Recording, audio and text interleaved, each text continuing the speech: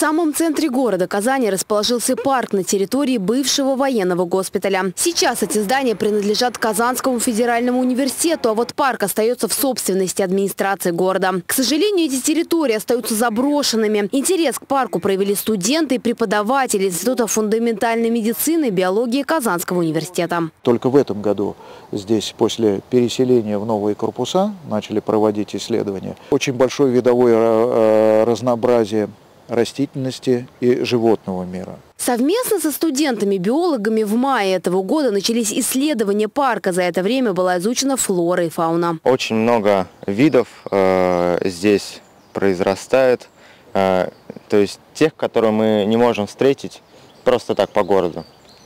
То есть такие, как каштан, например. Э, этот вид вообще стоит достаточно больших денег, а тут он растет просто так можно выкопать саженец. Заброшенному парку уже более 200 лет свою историю начал с основания госпиталя в 1809 году. И за это время лес уже успел хорошо произрасти, обзавестись млекопитающими и особыми видами птиц. Здесь довольно много э, разных видов деревьев произрастает, э, в частности, и такие довольно распространенные виды, как береза, э, клен американский, обыкновенный клен, ель.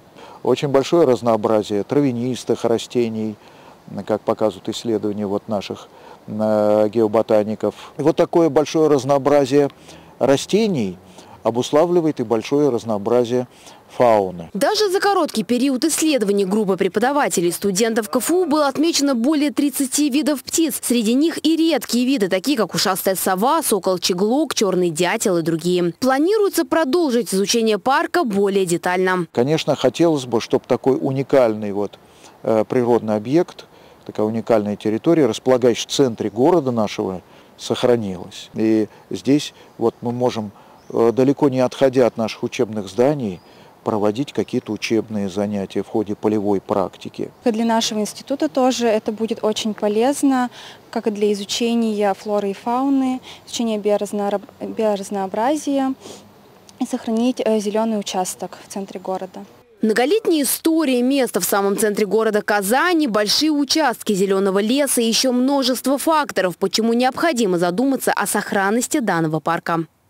Средний возраст деревьев этого заброшенного парка около 150 лет. Студенты и преподаватели Казанского университета верят и надеются, что в ближайшее время парк будет облагорожен. Анна Глазунова, Ленар Давлетьяров, Univer News.